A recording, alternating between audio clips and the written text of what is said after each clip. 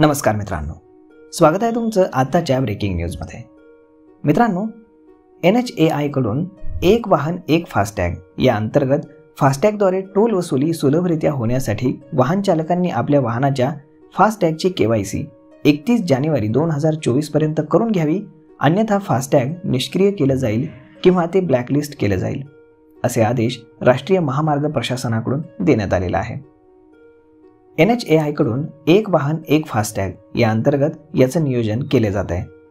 अनेक वाहन चालक एकच फास्टॅग अनेक वाहनांना वापरत असल्याचं अधिकाऱ्यांच्या निदर्शनास आलेलं आहे. त्या अनुषंगानं एकच फास्टॅग एकाच वाहनाला वापरण्यात यावं यासाठी शासनानं के वाय सी करणं बंधनकारक केलंय. एन एच ए आयनं या निवेदनात असं म्हटलंय की वाहन चालकांनी आपल्या वाहनाच्या फास्टॅगची कागदपत्र के वाय सी झाली आहेत की नाही याची खातरजमा करावी. के वाय सी केली नसेल तर एकतीस जानेवारीच्या आतमध्ये ते करून घ्यावं. अन्यथा एकतीस जानेवारी दोन हजार चोवीस नंतर ज्या फास्टॅगची के वाय सी केलेली नसेल तो फास्टॅग निष्क्रिय केला जाईल. अन्यथा ब्लॅकलिस्ट करण्यात येणार आहे. यामुळे वाहन चालकांनी के वाय सीची खातरजमा करावी असं आवाहन राष्ट्रीय महामार्ग प्राधिकरणाकडून करण्यात आलेलं आहे.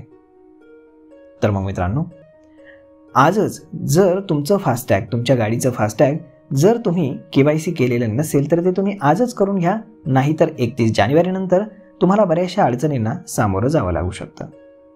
धन्यवाद.